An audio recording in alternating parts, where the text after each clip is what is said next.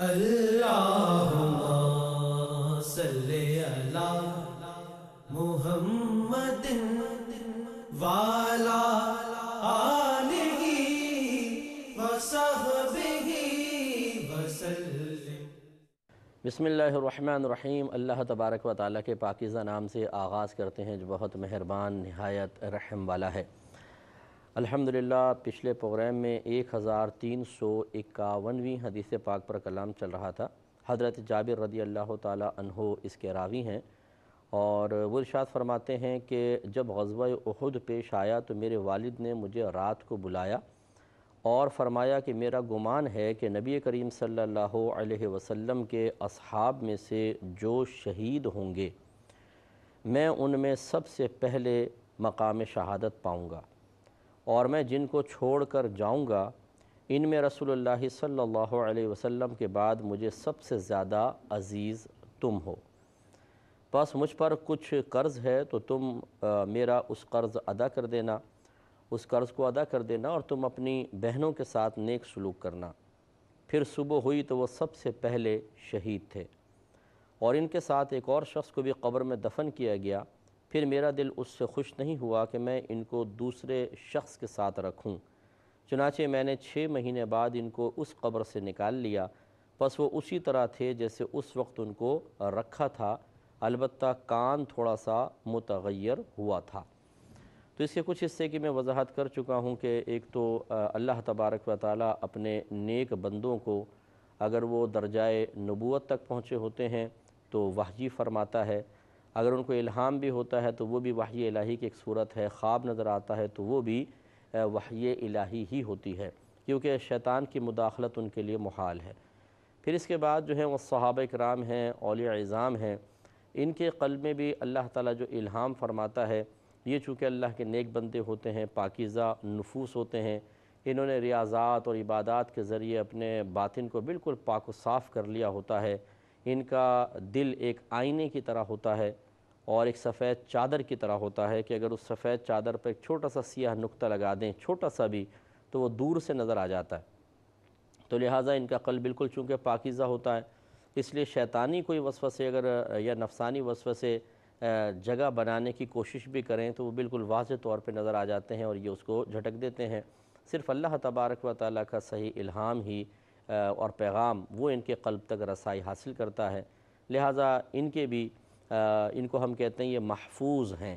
یعنی گناہوں سے، خطاؤں سے، شیطانی مداخلت سے محفوظ کیے گئے ہیں۔ معصوم نہیں کہتے، محفوظ کہتے ہیں۔ تو حضرت جابر رضی اللہ تعالیٰ عنہ کے والد کا معاملہ بھی ہم نے آپ کو بتایا تھا، یہی تھا کہ اللہ نے آپ کے قلب میں الہام فرمایا اور آپ نے اس کو بیان کیا کہ کل جو ہے وہ میں نبی کریم صلی اللہ علیہ وسلم کے اصحاب میں سے سب سے پہلے شہید ہوں گا۔ اگرچہ آپ نے گمان کا لفظ کہا تو یوں ہی کہ اللہ نے دل میں بات ڈالی تو اس کو گمان ہی کہیں گے، اس کو کامل یقین کے درجے تک تو صرف نبی ہی پہنچا سکتا ہے کہ نبی کو ہنڈریڈ پرسنٹ شیورٹی ہوتی ہے کہ یہ اللہ کا پیغام ہے۔ باقی انبیاء، صحابہ کرام مولیہ اعظام ہم ان کے بارے میں حسن رکھتے ہیں کہ وہ محفوظ ہوتے ہیں، لیکن بہرحال شیطانی مداخلت ہو سکتی ہے اگرچہ اللہ تعالیٰ ان کو محفوظ فرماتا ہے۔ اسی لیے آپ نے گمان کا لفظ کہا اور ایسے ہی ہوا کہ پھر اگلے دن آپ سب سے پہلے ہی شہید ہوئے۔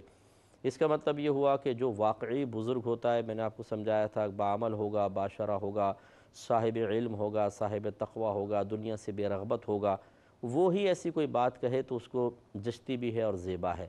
وہ نہیں کہ جو مطلب جن کے چہرے پہ داڑھی نہیں ہے اور بے نمازی ہیں اور حرام اور گناہ کبیرہ اعلانیہ طور پہ سب کے سامنے کر رہے ہوں۔ اور پھر وہ بڑی بڑی بڑکے ماریں۔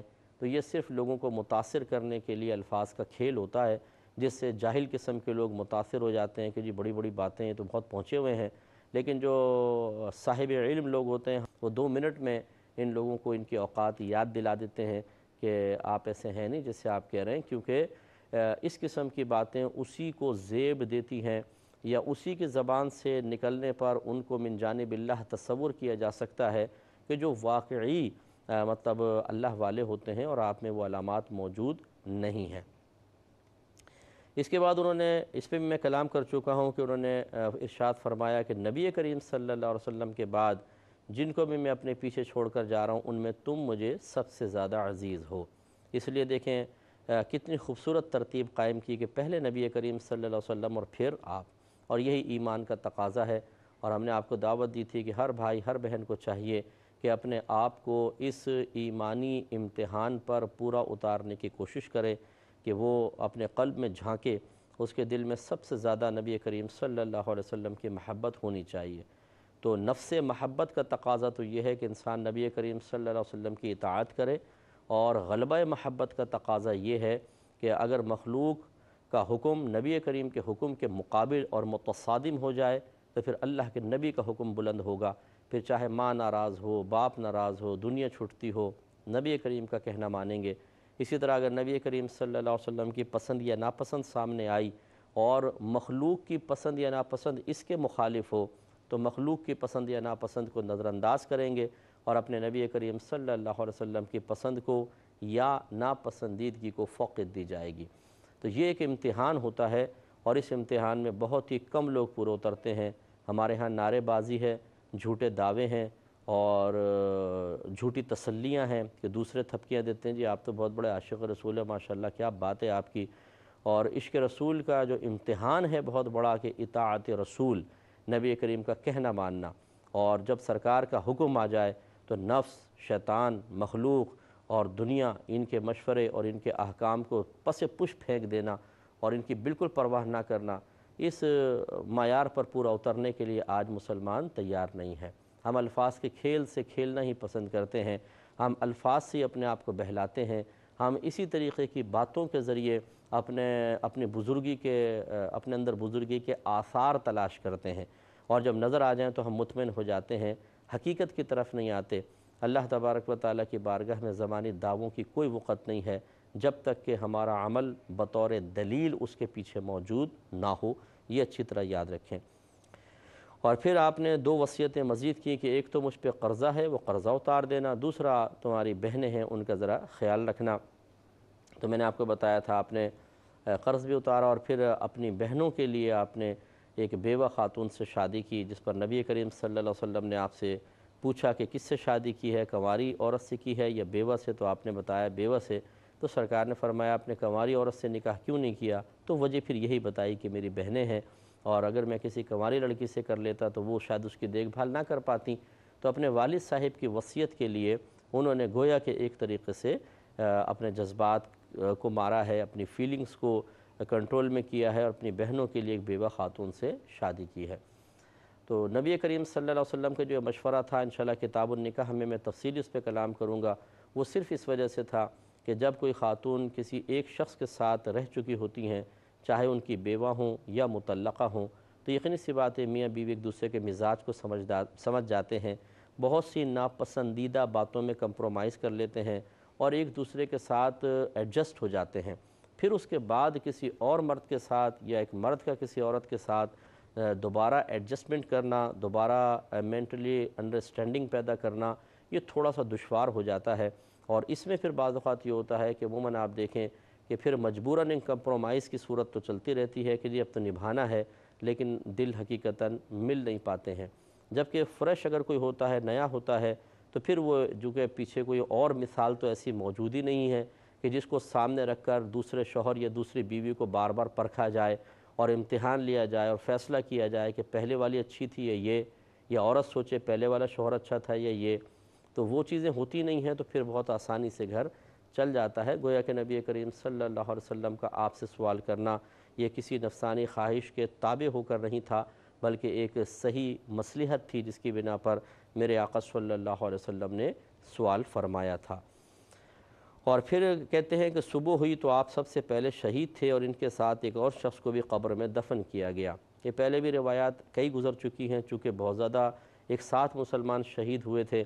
تو رحمت کونین صلی اللہ علیہ وسلم ایک ایک قبر میں بعض اوقات دو دو مردوں کو رکھ رہے تھے اور ان میں دیوار قبلہ کی طرف ان کو رکھتے تھے یا پہلے ان کو اتارا جاتا تھا کہ جن کو جو زیادہ صاحب علم ہوا کرتے تھے۔ تو ان کے والد صاحب کے ساتھ بھی ایسا ہوا کہ ایک شخص کو دفنایا گیا۔ پھر یہ خود یہ ان کا حضرت جابر کا اپنا اشتہاد ہے۔ آپ نے چھ مہینے بعد کہتے ہیں کہ میں نے یہ بات مجھے بار بار یہ کھٹک رہی تھی کہ میرے والد صاحب کسی شخص کے ساتھ ہیں، ان کو علیحدہ قبر میں دفنایا جائے۔ تو لہٰذا کہتے ہیں کہ چھ مہینے کے بعد ان کو میں نے قبر سے نکال لیا۔ تو پھر وہ، میں نے دیکھا کہ وہ اسی طرح تھے جیسے اس وقت کے ان کو رکھا گیا تھا۔ البتہ کان تھوڑا سا متغیر ہو گیا تھا۔ اور ہمارا گمان یہی ہے کہ وہ کان اصل میں قبر میں رکھنے کی وجہ سے خراب نہیں ہوا تھا، بلکہ چونکہ والد صاحب شہید ہوئے تھے اور زخم وغیرہ لگے تھے، تو اس زخم کی وجہ سے اس میں تھوڑا سا ایسے کان میں تغیر نظر آیا، ورنہ تو پوری باڈی ہی ہوتی۔ تو یہ اللہ کے نیک بندوں کی ایک بزرگی کی علامت بھی ہے کہ اگر ان کو کئی سالوں بعد، کئی مہینوں بعد قبر سے نکالا جائے تو ان کے جسم بعد اوقات بالکل سلامت ہوتے ہیں۔ اللہ تبارک و تعالیٰ کی بڑی کرم نوازی ہے۔ اگر کوئی عالم دین ہوتے ہیں، کوئی مفتی ہوتے ہیں، کوئی بہت ہی نیک پرہزگار متقی شخص ہوتے ہیں جو صاحب علم بھی ہوتے ہیں، اسی طرح حافظ قرآن جو قرآن کو یاد کرے اور پھر اس کے تقاضے کے مطابق عمل بھی کرے۔ یعنی بعمل حافظ قرآن، ان کے اجسام کو بھی اللہ تبارک و تعالیٰ نے کیڑے مکوڑوں کے کھانے سے محفوظ رکھا ہے۔ قبر کے اندر کا ماحول ان کی لاش میں کوئی تغیر پیدا نہیں کرتا، نہ پھولتی ہے، نہ پھٹتی ہے، ویسے ہی رہتی ہے، چاہے آپ کتنے ہی سالوں بعد اس کو کھولیں۔ لیکن یہ میں آپ کو دعوت نہیں دے رہا ہوں کہ آپ خواہ کھول کر تلا، دیکھیں کہ یار واقعی ایسا ہے کہ نہیں ہے۔ یہ ہمیں منع کیا گیا ہے۔ کیونکہ بارہا میں نے آپ کو عرض کیا کہ احوال قبر اللہ تبارک و تعالیٰ کے رازوں میں سے ایک راز ہیں، وہ کس کے ساتھ کیا معاملہ فرما رہا ہے، اس کو پردے میں ہی رکھنا بہتر ہوتا ہے۔ بعض اوقات ہم جو ہیں وہ اس میں تصرف کرنے کی کوشش کرتے ہیں اور نقصان ہوتا ہے۔ یہ شرح الصدور بشرح حال الموت والقبور، علامہ جلال الدین سیوتی صاحب رحمۃ اللہ علیہ کی ایک عربک بک ہے۔ اس میں ایک واقعہ آپ نے لکھا ہے کہ ایک گورکن تھا جو اپنے چہرے پہ کپڑا ڈال کے رکھتا تھا، وہ لوگوں سے بات نہیں کرتا تھا، تو یعنی وہ چہرہ نہیں دکھاتا تھا۔ تو ایک بزرگ نے ایک دفعہ اس سے کہا کہ تم اپنا چہرہ تو دکھاؤ۔ اس نے کہا کہ آپ دیکھ نہیں سکیں گے، آپ نے فرمایا دکھاؤ تو دکھایا۔ تو اس کی دونوں آنکھیں اندر کو دھسی ہوئی تھی بہت زیادہ۔ اور عجیب حیت اس کی شکل کی تو آپ نے بہت یعنی ڈراؤنا چہرہ تھا۔ آپ نے کہا تیرے ساتھ ایسا کیوں ہوا؟ تو اس نے کہا کہ ایک دفعہ میں نے ایک قبر کو کھودا۔ اور پھر میں نے اس میں جھانکا تو ایک شخص اس میں بیٹھا ہوا تھا، جس کو، جس کی عجیب ایک حالت تھی، اور اس نے مجھے دیکھ کر کہا کہ اللہ کے دشمن تو اللہ کے رازوں پر مطلع ہوتا ہے، اور اس کے بعد پھر میری دونوں آنکھیں اندر کو چلی گئیں۔ تو اس طرح کے واقعات پہلے زمانے میں ہوئے ہیں، جو ہمارے اکابرین نے لکھے ہیں۔ بعض ہمارے بھائی اور بہن پوشیدہ معاملات کی بڑی جستجو کرتے ہیں، جو اللہ نے ظاہر کر کے رکھا ہے۔ جو بالکل واضح ہے، جن کو سیکھنے کا حکم ہے، جن کو جاننے کا حکم ہے، اس کی طرف نہیں آئیں گے۔ نہ قرآن پڑھیں گے، نہ حدیث پڑھیں گے، نہ فقہ پڑھیں گے، نہ شرعی مسائل سیکھیں گے، نہ دینی اونچ نیچ سیکھیں گے، جو واضح بھی ہے، جس میں جستجو کرنا بھی جائز، جس کی گہرائی میں اترنا بھی جائز، اس کو نہیں دیکھیں گے۔ انہیں شوق ہوتا ہے، ہمیں پتہ چل جائے کہ والد صاحب فوت ہوئے ہیں تو وہ کس حال میں ہیں؟ والدہ فوت ہوئی ہیں تو کس حال میں ہیں؟ تو یہ پھر وظیفے مانگتے ہیں کہ جی کوئی ایسا وظیفہ بتا دیں، ہم خواب میں ان کو دیکھ لیں۔ بعض ایسے بھی آتے ہیں جو کہتے ہیں جی کشف قبور کا کوئی ایسا وظیفہ بتا دیں کہ ہم قبر پہ بیٹھیں، وظیفہ پڑھیں تو احوال قبر پہ مطلع ہو جائیں، مردہ ہم سے ہم کلامی کرنے لگے اور ہم اس سے پوچھ لیں کہ بھی تمہارے کیا معاملات ہیں۔ اب اگر یہ ایسے ہی آسان معاملات ہوتے اور اللہ تبارک و تعالیٰ یا اس کے رسول کریم صلی اللہ علیہ وسلم کی مشیت یہی ہوتی کہ لوگ اس پر مطلع ہوں تو پہلی بات تو یہ کہ ان امور کو پوشیدہ رکھنے کی ضرورت نہیں تھی، ان کی شاف کر دیا جاتا تاکہ لوگ اس سے عبرت حاصل کر لیتے چلے۔ اور دوسری بات یہ ہے کہ پھر خود نبی کریم صلی اللہ علیہ وسلم کے دور مبارکہ میں بکثرت اس قسم کے معاملات ہوتے اور صحابہ جستجو میں رہتے، لیکن ایسا کچھ بھی نہیں ہے۔ لہذا اچھی طرح یاد رکھیں کہ ان جستجوؤں میں پڑھنا، ان رازوں کو ٹٹولنے اور کھنگولنے کی، کھنگالنے کی کوشش کرنا، یہ انسان کے لیے انتہائی نقصان کا باعث بن سکتا ہے۔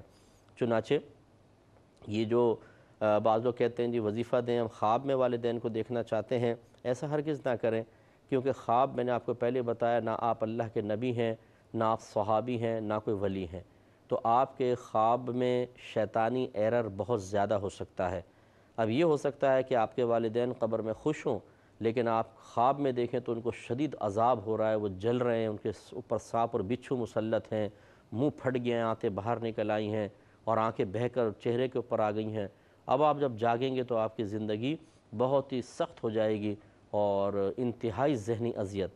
حالانکہ وہ خوش ہیں اور اس طرح نظر آ گیا۔ اور یہ بھی ہو سکتا ہے کہ وہ بیچارے اپنی قبر میں، اپنے اعمال کی بنا پر شدید عذاب میں مبتلا ہوں۔ اور آپ خواب میں دیکھیں تو بہت ہی اچھے نظر آئیں، بڑی راحت کے ساتھ، خوشی کے ساتھ، سکون کے ساتھ۔ اب آپ کہیں گے جی وہ تو بڑے سکون سے ہیں۔ تو اس کا مطلب ہے ان کو زیادہ اصال ثواب کی حاجت نہیں۔ آپ غافل ہو جائیں۔ تو یہ تو اور زیادہ بیچاروں کے لیے عذاب ہے۔ اور اسی طرح جس سے بھی میں نے آپ کو سنایا کہ اگر آپ احوال قبر پر مطلع ہونے کی کوششیں کریں گے، اس میں بڑے نقصان کے احتمالات ہیں۔ اور اس خوابی معاملے سے کہیں زیادہ معاملہ خطرناک ہو سکتا ہے۔ لہٰذا ہم اپنے بھائی بہنوں سے گزارش کرتے ہیں کہ خواہ ان پوشیدہ امور کی طرف نہ جائیں، بلکہ جو اللہ نے آپ کے لیے ظاہر سیکھنا مقرر کر دیا ہے، واجب کیا ہے، لازم کیا ہے، اسے سیکھیں، اس کے قریب آئیں۔ پھر اللہ تعالیٰ چاہے گا تو آپ کو عطا فرما دے گا اور وہ ہمت اور طاقت بھی روحانی دے دے گا کہ آپ ان تمام چیزوں کو برداشت کر سکیں۔ ورنہ آپ کے اندر روحانی طاقت ہے نہیں اور آپ مطلب ان امور کی طرف بڑھ جائیں، یہ خطرناک ہے۔ بعض ایسی نوجوان ہوتے ہیں کہ جی ہمیں کشف قبور کے وہ مطلب وظائف دے دیں، ہم چاہتے ہیں کہ قبر کے احوال پتہ چلیں۔ اب ان کو یہ کہا جائے کہ اچھا چلو وہ مل جائے گا تمہیں مجھے بھی پتہ ہے اللہ کا بڑا کرم ہے کہ ہمارے بزرگوں کا بڑا فیض ہے، لیکن اگر ان کو یہ کہا جائے اچھا چلو ایسا کرو، پہلے تمہارا امتحان ہے رات کے دو بجے۔ بالکل اندھیرے، گھوپ قبرستان میں، سنسان قبرستان میں جا کے ذرا ایک گھنٹہ تو گزار کے بتاؤ۔ تو یہ آج کل کے ڈرپوک مسلمان نوجوان جن کے ایمان بالکل ناقص ہو چکے ہیں، کیونکہ نہ قرآن کے قریب ہیں، نہ حدیث کے قریب ہیں، اور نہ یہ نیک لوگوں کے قریب ہیں۔ نہ اللہ تبارک و تعالیٰ کی صحیح معرفت حاصل، نہ اللہ پر توکل اور بھروسہ ان کو حاصل۔ نتیجہ یہ نکلتا ہے کہ ہارر فلمیں دیکھنے والے اور اس طرح مطلب جہالت میں مبتلا اور ایمان کی کمزوری میں گرفتار مسلمان، پانچ دو ایک گھنٹہ تو بہت دور کی بات، پانچ منٹ نہیں بیٹھ سکتا۔ اسے ایسے لگے گا جیسے قبریں پھٹ کے مردے اس کو پکڑ لیں گے۔ تو اگر کوئی نوجوان ایسا ہے جو تمنا رکھتا ہو تو ذرا ایسا کر کے تو بتائے۔ ذرا جا کر تو دیکھے۔ یہ تو چلیں، رات کی میں نے بات کہہ دی، رات تو بہت بڑی دل جگرے کی بات ہے۔ سنسان دوپہر میں آپ اکیلے قبرستان میں جا کر دیکھیں، ایک حیبت ناک سناٹا اور ایک ہولناکی آپ کو محسوس ہوگی۔ اب جب اتنا دم خم ہے نہیں، اتنی ننی سی آپ کی ہمت اور جان ہے، اور ارادے آپ کے اتنے بڑے بڑے ہیں کہ جی کشف قبور کے ہمیں وظیفے مل جائیں۔ اور کشف قبور کے وظیفے اگر آپ کو دے بھی دیے جائیں اور فرض کر لیں، فرض کر لیں، فرض کر لیں، آپ کی رسائی ہو جاتی ہے اور مردہ انتہائی خطرناک حالت میں اور آپ کی طرف نظر اٹھا کر دیکھے تو وہیں آپ بے ہوش ہو کے گر جائیں گے اور ہو سکتا ہے کہ آپ کے دماغ کی رگیں پھٹ جائیں اور دل آپ کا کام کرنا چھوڑ دے اور پتہ چلے کہ اسی کے ساتھ ہی قبر میں دوسری میں آپ کو دفنا دیا گیا۔ اس لیے اس قسم کے معاملات کی طرف نہ ہی بڑھیں تو بہتر ہے۔ اگلی حدیث کی طرف آتے ہیں۔ پہلے باب ہے کہ باب الحد و شقی فی القبر، قبر کو لحد اور شک کی صورت میں بنانا۔ یہ پہلے بھی آپ کو سمجھا چکے ہیں کہ لحد بغلی قبر کو کہتے ہیں اور شخص صندوق والی کو کہتے ہیں، انشاءاللہ اس پہ کلام ہوگا نیکسٹ پروگرام میں واخر دعوانا ان الحمدللہ رب العالمین. اللہم صلی علی محمد والا آلہ وصحبہ